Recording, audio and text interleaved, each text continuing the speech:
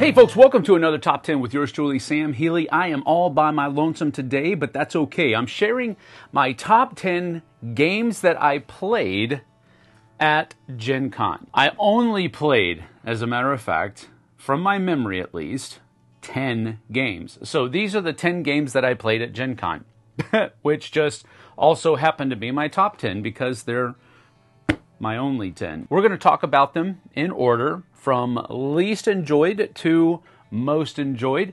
And sometimes that is determined by the experience of the people that I'm playing the game with more than the actual game itself. Do take this list with a grain of salt. I did try to be a little bit more academic about it, but just keep in mind these are my 10 games that I played at Gen Con from least enjoyed to most enjoyed. Let's hit it.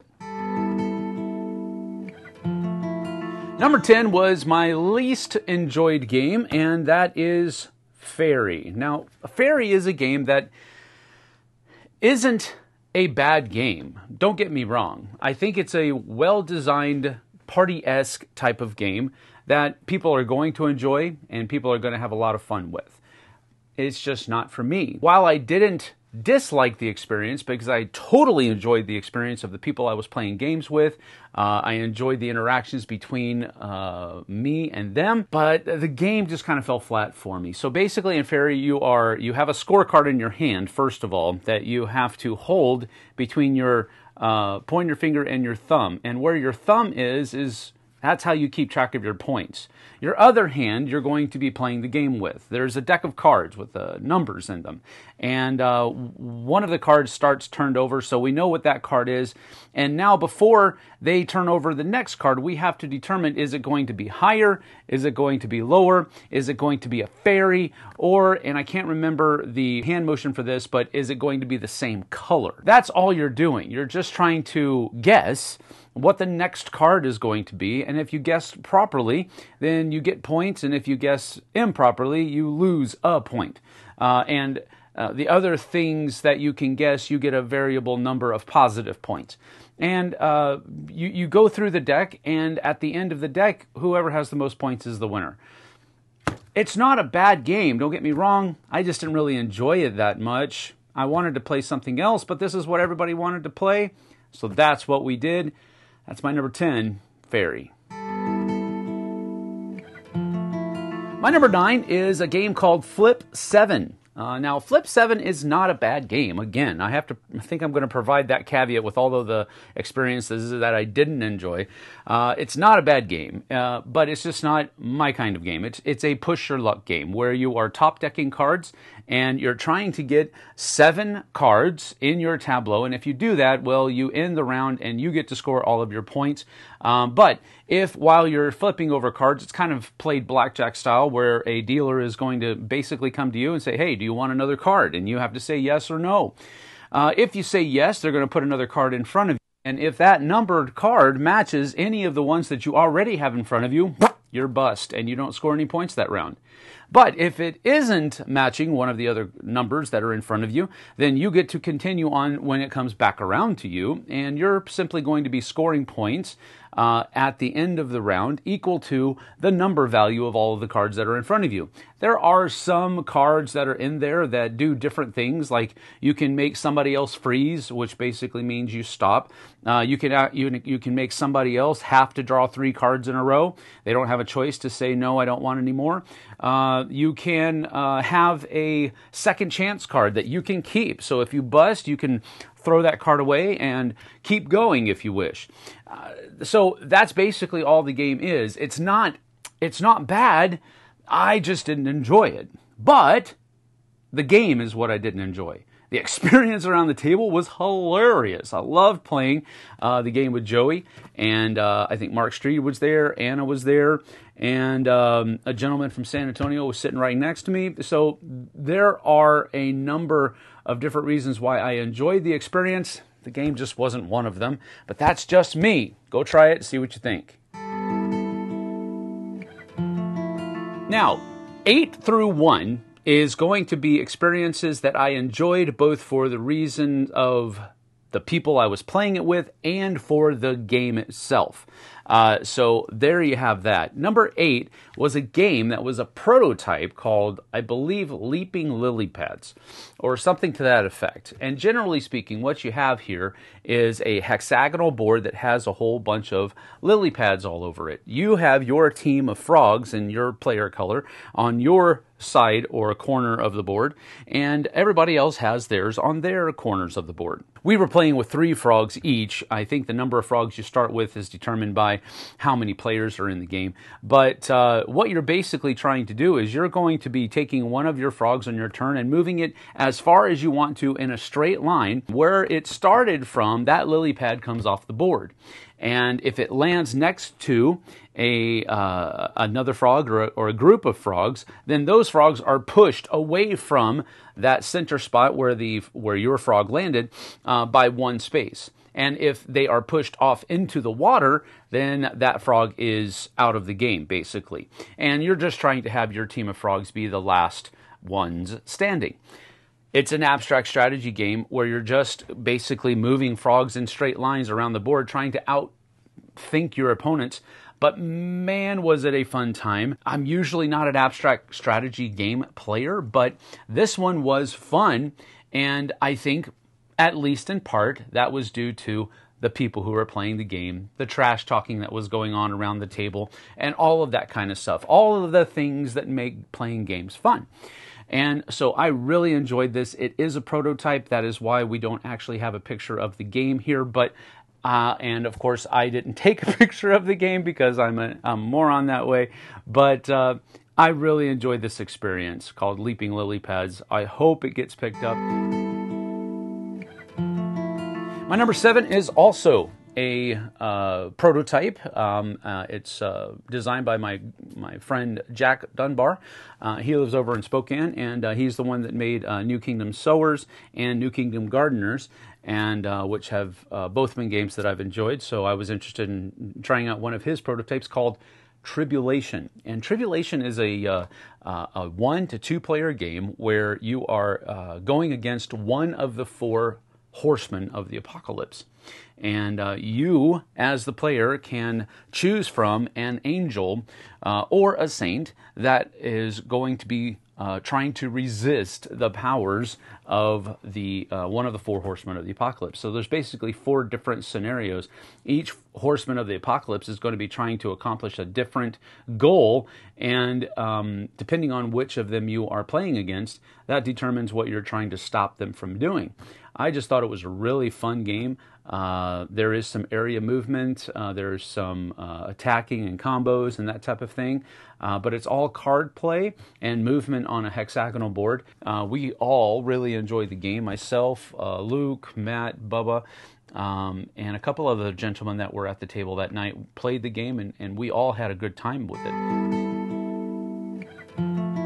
My number six is a game called Chicken with an exclamation mark. And this is a dice game that you're basically just rolling uh, a number of dice. Um, you, you, you start with four dice. And if you roll chickens, then that's going to score you points. If you roll eggs, you get to add more dice to your pool, and you always get one reroll on your turn.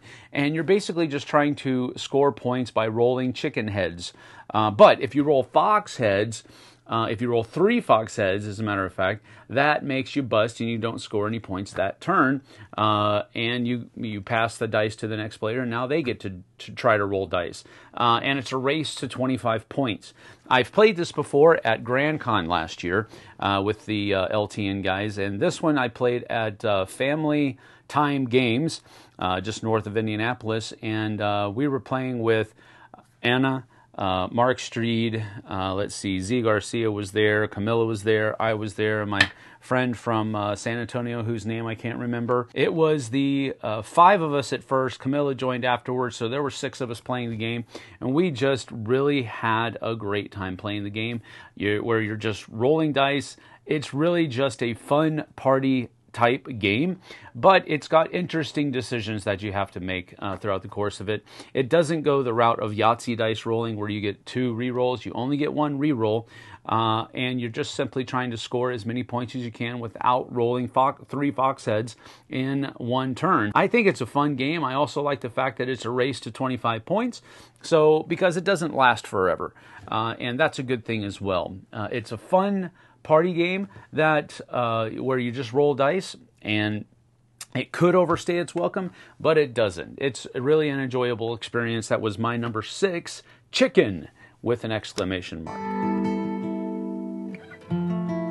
My number five was a game that has just recently been published, uh, and it's called Prestige, the city building game. This one was, uh, again, another one that has just been uh, funded, rather, not necessarily published, and it's I don't believe it's available on retail yet, but it's going to be soon. And it's an it's a neat little semi-cooperative city building game because everybody has cards in their hand that represent different districts in a city, and you're trying to uh, play your cards into the city, and you're all cooperatively doing that. Um, but you're trying to do so in such a way where your faction uh, has the most of their districts in the city at the end of the game. So there is only going to be one winner once the game ending conditions are met but you are cooperatively working towards that goal. It's a really interesting uh, situation uh, to build a game around where you're all building a city together and you do want the city to grow and you do want to uh, score points and, and do all of this kind of thing cooperatively. But at the end of the game, there can only be one winner. I really enjoyed myself. It was a neat um, city building experience. I like city building games, generally speaking, and this one didn't disappoint. So that's Prestige, the city building game. My number four is a from Arcane Wonders. It's called Mezen, and this one piqued my interest when it was uh, being uh, talked about on the BGG lists for Origins and for Gen Con. I was able to demo it at Origins, and then here at Gen Con, they actually had copies for purchase, and they also had neoprene mats for pur- purchase that go along with it. Uh, so that's a cool thing. I bought both of those. And uh, that night after I purchased them, we were back up in the JW Marriott on the third floor there, and uh, I pulled it out. We played a five player game of it.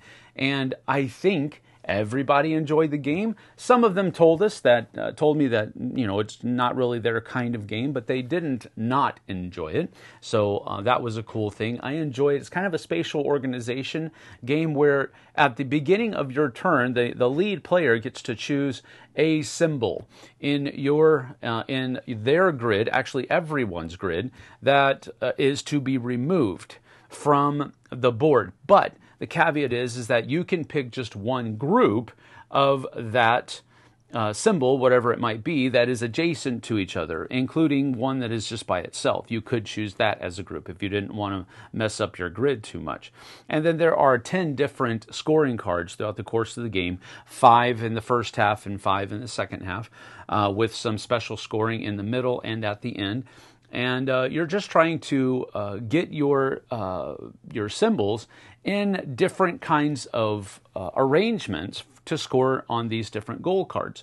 It's really an interesting game. It's not one that uh, I would normally gravitate towards, so it is kind of strange that I was pulled toward this game. I'm usually much more of an aesthetic type of gamer, and uh, this one just basically has three colors red, black, and white but the starkness of the design is what kind of uh, uh, brought it to the front for me. So I really have enjoyed this game. I'm going to be playing it more here rec- here in the next few weeks, and we'll have a review coming up pretty soon over on the flip side. So go check that out. That was my number four, Mezen.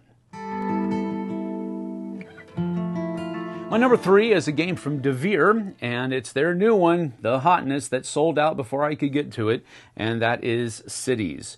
Uh, Jess saw this being played a lot at Dice Tower East, and she said it really looked like something she wanted to try out. So I did want to try to get a copy, but I didn't get there in time, as it were. But I did get to uh, play somebody else's copy of it. Jim Pridgeon, a good friend of mine, had, was able to purchase it, and um, he taught us how to play and we really had a good time at this. It was a not it's it's not so much of an interactive game, but you are building your city, and there are different cities that you can uh, play with that will give different public goals that everybody's trying to shoot for. So that's a cool thing about it. But you basically go through almost everything that's in the game every single time you play it, except for the actual building pieces, which are cool. Um, but uh, you don't use all of those, but you use all of the other cards, you use all of the other tiles.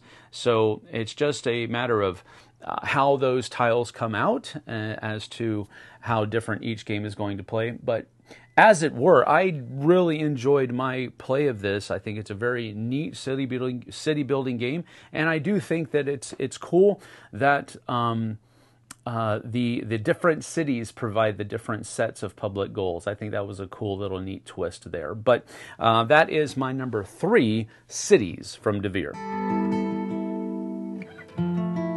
My number two is definitely an old favorite of mine, uh, but this is a revamped old favorite, and that is Bang Dice Explosion. Now, when I heard that Dice Explosion was coming out, I gave away my uh, old copy of Bang the Dice game, and I did have all of the expansions. But Bang the Dice Explosion uh, has the base game, all of the expansions, and four new characters. So uh, I replaced my older very well used copy of Bang the Dice game with Dice Explosion, and uh, we were able to play it once at uh, you know Roy and I uh, got a few people together while we were at Family Time Games uh, for the Dice Tower Kickstarter event, and we were able to play it, and it just reminded me how much I really enjoy this game. So much fun table talking, so much fun trying to figure out uh, who the other roles are in the game. So we really enjoyed this. We had a great time playing it. I've talked to about it ad nauseum on this channel. I know. So you know I like this game. It was my second favorite experience though. My most favorite experience out of the out of the entire convention is a little bit of a cheat, but I I was part of around 25 games of this game, and I really enjoyed myself. It made the entire weekend uh, a blast, and that is the art project by the Op. Um, I already knew I liked this game when I knew that the op was going to be my assignment and that the art project was going to be one of those games that were uh, being demoed, I actually requested to do the art project because I enjoy it so much and because I think it's such a, it's it's that great of a game. Uh, so that is what I've uh, that's my number one experience. It's the one that I played the most. Technically, I only played it once, but I was part of 20 about 25 different games as I was leading those demos and I really had a great time. So I want to say that I'm not trying to be cheeky. Um, I just this is the one game that I had the most experience this weekend with, and um, of all the people that I played with, I don't think I came across one person that uh, was coarse or sour or anything like that. Everybody had a great time. Everybody was were were having uh, were were being great players, and uh, it was just a very enjoyable experience. The art project over the course of the entire weekend, so it had to be my number one. Uh, but that is my top 10 games that I played, or maybe if you want to have it, top 10 gaming experiences at Gen Con. Uh, maybe that might be a better title for this. We'll see what I put on the thumbnail. Thanks for joining me, folks. We'll see you guys and gals on the flip side. Take care.